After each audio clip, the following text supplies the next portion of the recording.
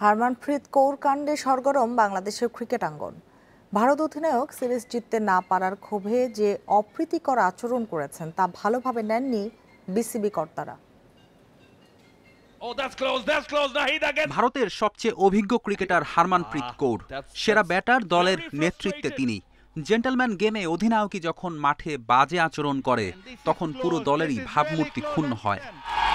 Hitter in the back leg and the batter. Out হওয়ার পর শুধু ক্ষোভ ছাড়েননি।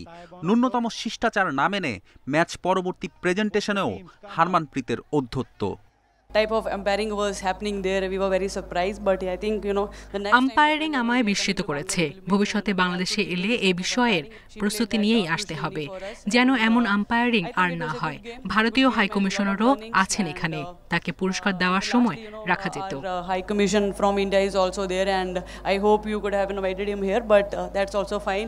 হারমানপ্রীতের অযাচিত মন্তব্য অশোভন আচরণ এদেশের ক্রিকেট প্রেমীরা ভালোভাবে নেয়নি তেমনি বিসিবিও ব্যবস্থা নিতে সোচ্চার।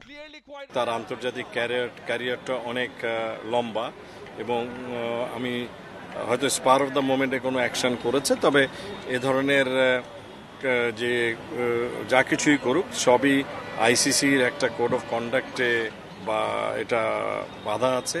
আপনাকে অবশ্যই ভালো খেলোয়াড় হওয়ার আগে আপনার ভদ্রতা সম্পর্কে এবং ক্রিকেটীয় জ্ঞানটা আগে অর্জন করতে হবে। ম্যাচ রেফারি রিপোর্ট দেখার পরে আমরা আমাদের আইসিসির সঙ্গে কথা বলা বা ভারতীয় ক্রিকেট বোর্ডের সঙ্গে কথা বলা যেটা করা প্রয়োজন আমরা সেটাই করব।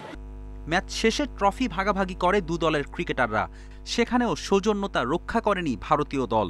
টাইগ্রেসদের পড়তে হয়েছে বিব্রতকর পরিস্থিতির মাঝে।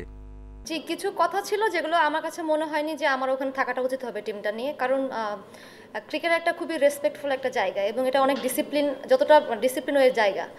আর হচ্ছে সব থেকে বড় কথা এটা তো gentleman game so the thing is আমার কাছে মনে হয় ওই জিনিসটা, ওই পরিবেশটা ছিল না, তাই আমার টিম নিয়ে চলে আসছি।